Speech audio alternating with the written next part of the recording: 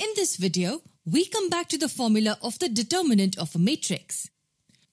What will this be equal to? What will be the formula if we have the first row as the reference?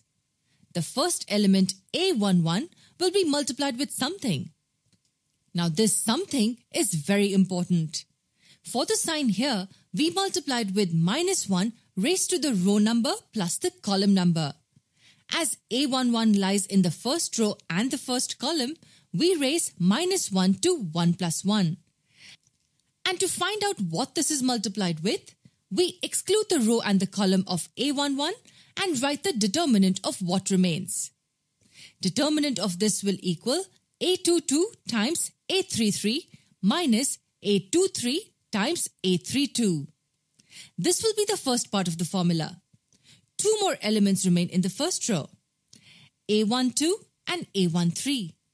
What will A12 be multiplied with? Minus 1 raised to 1 plus 2 multiplied by the determinants of these four elements. A21 times A33 minus A23 times A31. And what will A13 be multiplied with? Pause the video and write the correct product here.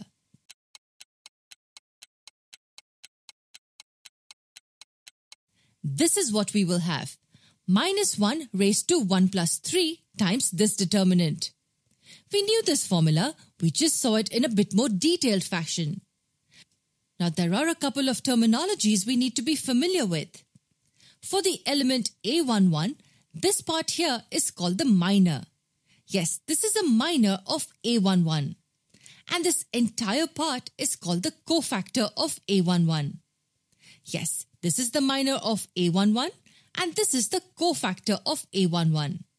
Similarly, this is the minor of A12 and this is the cofactor of A12. For A13, this is the minor and this is the cofactor.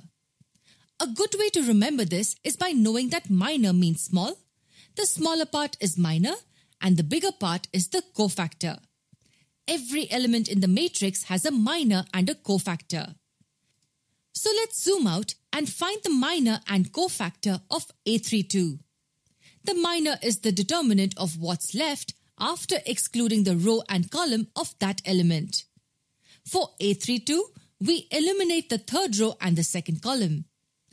The determinant of these four elements will equal A11 times A23 minus A13 times A21. This is the minor of A32. For the cofactor, we just multiply this with minus 1 raised to 3 plus 2. This will be the cofactor of A32. Minus 1 raised to 3 plus 2 times this.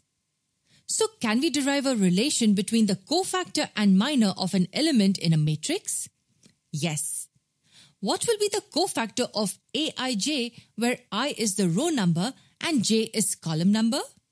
Remember, this multiplied by the minor gives us the cofactor. So cofactor of aij will equal minus 1 raised to i plus j times the minor of aij. This is the relation between the minor and cofactor of an element. The minor is the smaller determinant part and multiplying it with this gives us the cofactor. We will look at an example in the next part of the lesson.